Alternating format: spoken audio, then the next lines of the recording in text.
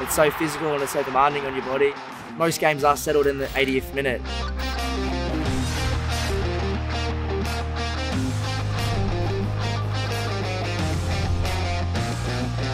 State of Origin is arguably the toughest sporting event in the world. As a fullback, I've got a pretty demanding job in, in terms of running load. It can be anywhere from 8 to 10 kilometres, 40 tackles a game.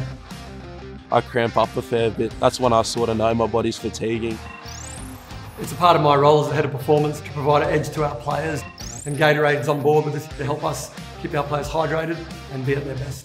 After a sip of Gatorade from the trainers, I feel rehydrated, I feel re-energised and ready to go. Last year, game one, we had the defenders set on our line to win the game and, and we came up trumps. Keeping my hydration levels up with Gatorade definitely helps me be at my best for 80 minutes.